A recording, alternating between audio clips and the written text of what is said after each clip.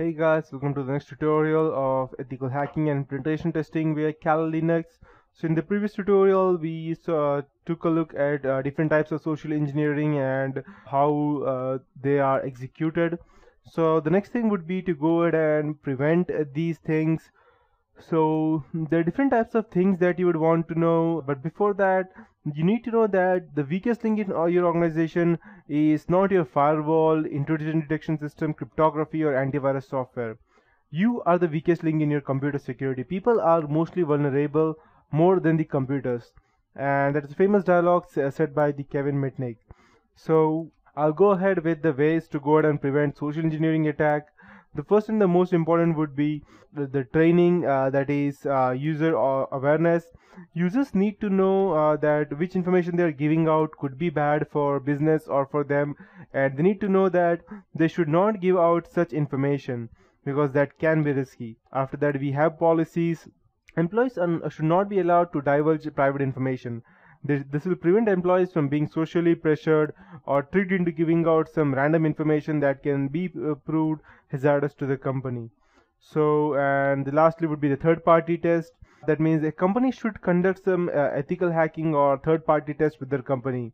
Having a third party come to your company and attempt to attack in your own network, third party will attempt to glean information from employees using social engineering and it helps to detect the company problems that people have with the security and finally the thing you need to know is that you need to be smart.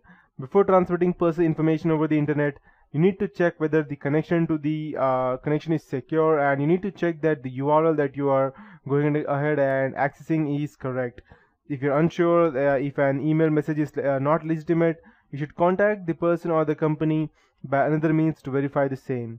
And you always uh, need to be paranoid and aware when interacting with anything that needs protected.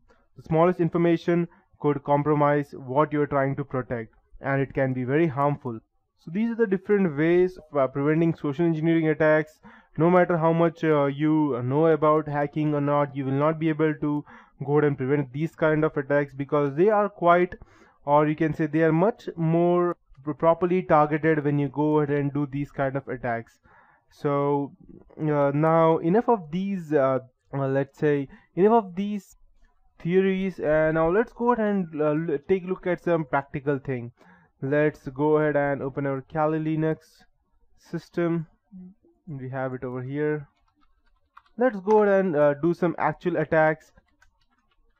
Perfect. So let's go ahead and do some practical uh, problems that will go ahead and help us gather much more information so now you know the different types uh, of ha uh, hacking that is social engineering, uh, technical, non-technical, creating fake accounts, phone calls and phishing without Kali Linux. Yeah, that is one more part which I have not yet taught you, phishing without Kali and this is something that you can do even if you don't have Kali Linux. So before I proceed with that, I will teach you so just in case if you don't have any of this uh, for if you're trying to go ahead and gain access to some random system uh, let's say for example the gmail id of any specific person and you don't have kali linux with you at that point of time then what you could do is that you just need to have a computer with the internet connection and you could simply go ahead and do this simple thing as well. So i'll be just using my chrome before i show you. It's quite far easier in kali linux but uh, it's yeah, also easier if you go and try to do it something in a different way. So just go ahead and type gmail and I already have that over here. And when you get this step just go and click right click save as and save it in any of your random space. And make sure that it is the gmail period html any random page uh, name period html and just click save. And when you have it you need to go on to your folder so I'll just go in my folder. And you can see you have your gmail HTML you go ahead and right click and edit with any text editing file. And go ahead and type control F over here. And when you come over here just select action A C T I O N and hit enter. And you have this first action just leave it as it is click find next. And when you see this one over here equals to http service login go ahead and change over change this with your own IP address. That's let's say for my IP address random IP address be 192.168. uh, let's say 68.23 any random IP address and this would be my IP address and I'll just go ahead and put this out and everything will be the same. And uh, over here instead of post go ahead and type get.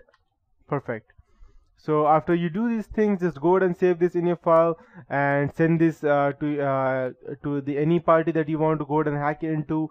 And the, when you, the party goes ahead and tries to click on this link uh, your own fake page will be created with your own IP address. Or if you don't have an IP address the better uh, other better part would be instead of IP, IP address you can go ahead and create random domain. Let me check if my net is still on. So I'll just go ahead and create a random domain. Okay but I believe my net is down. If you uh, let me check. So never mind. So if you, you can just go ahead and create a random domain for let's say if for gmail you can type ggmail.com or any random which is uh, name which is almost similar to gmail. And you can go ahead and check it over here as well. Uh, my net is not working else. I would have showed you over here as well.